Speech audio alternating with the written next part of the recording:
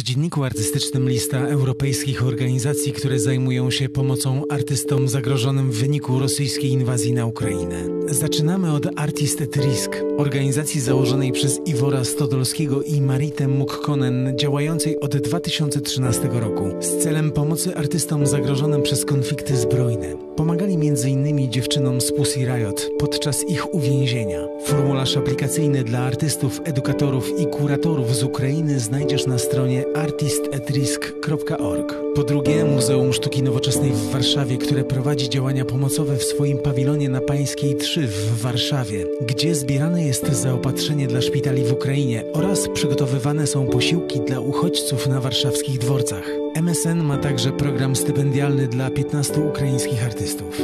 Na Facebooku warto śledzić hashtag Nigdy Więcej Wojny. Muzeum Menu Zona z Kłajpedy na Litwie ogłosiło program rezydencji dla trójki artystów z Ukrainy. Zgłoszenia można nadsyłać do 17 kwietnia. Stowarzyszenie Galerii Sztuki Współczesnej w Rumunii zaprasza artystów z Ukrainy do pobytu w Bukareszcie, Kluju i Timisoarze. Jak informują organizatorzy, postarają się zapewnić nocleg i wsparcie finansowe na czas trwania pobytu. Każdemu artyście zostanie zaoferowana pomoc według potrzeb, bez zbędnych formalnych zobowiązań. Kolonia artystyczna Nida na Litwie ma miejsce na przyjęcie ukraińskich artystów i osób zajmujących się kulturą wraz z ich rodzinami. Oferuje również pełne kursy dla studentów, aby mogli kontynuować swoją pracę akademicką. Mogą również pomóc w transporcie i logistyce.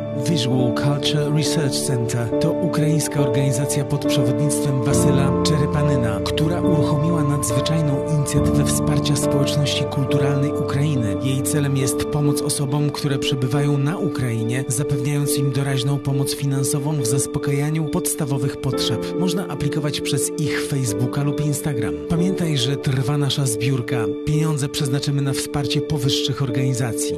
Do każdej waszej złotówki dołożymy drugą na pomoc dla Ukrainy i Ukraińców. Czekamy też na Wasze podpowiedzi. Jeśli znasz organizację działającą bezpośrednio na rzecz artystów ukraińskich, pisz w komentarzach.